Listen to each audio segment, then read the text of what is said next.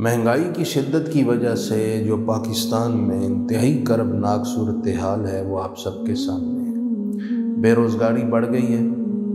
अशियाए खुर्द व नोश लोगों की क़वत ख़रीद से बाहर हो गई। हुकूमत वक्त ने मुफ़्त आटा पेश करने के लिए एक स्कीम शुरू की। लोग लाइनों में लगे। इस जस्तजू में लोगों ने अपनी बीमारी, अपनी उम्र का एहसास नहीं किया। भूखा क्या करे? जिसके बच्चे भूख से तड़प रहे हैं तो कैसे घर बैठा रहे? बुज़ुर्ग ख़वातीन और बूढ़े बूढ़े शख्स जो लाठी के सहारे चलते हैं, वो लाइनों में लगे हुए कहीं पगदड़ मची, पाँव के नीचे रोंदे गए, कईयों की हड्डियाँ टूट गई और कहीं ये क़्यामत खेज़ मनाजर भी देखे गए कि बुज़ुर्ग ख़वातीन और मर्दों की अमवात हो गई। उनके घरों में आटा तो ना पहुँचा अलबत् उन बुज़ुर्गों की लाशें पहुँची। ऐसी सूरत हाल में सारी ज़िम्मेदारी आयद होती है हुकूमत वक्त पर। क्या आप लोगों के अंदर इतनी काबिलियत भी नहीं कि आप दो चार हज़ार बंदों को मैनेज कर सकें और उन्हें मोहतात अंदाज में बाइज़्ज़त तरीके से आटे के थैले पेश कर सकें? और ये जो ब्यूरोक्रेट्स हैं, जो लाखों रुपए तनख्वाह और मुराहत लेते हैं क्या इनके अंदर इतनी सलाहियत इस्तेदाद और काबिलियत नहीं है कि ये चंद, सौ या चंद हज़ार अफराद को मैनेज कर सके?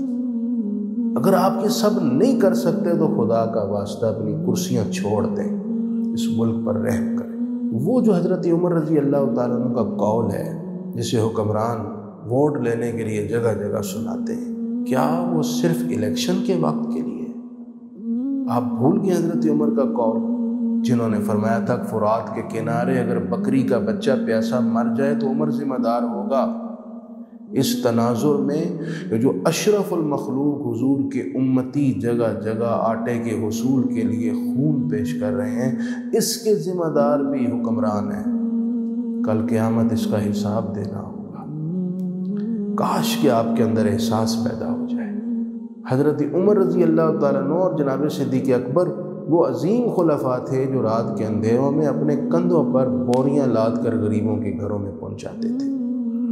कहीं कोई भूखा ना सो जाए और ख़ुद पेट पर पत्थर बांधकर सादा ज़िंदगी गुजारते थे। और आप शहाना ऐशो इशरत में मज़े ले रहे हैं और यहाँ गरीब मर रहे हैं। आप भूल गए हैं कि आपने मरना भी है।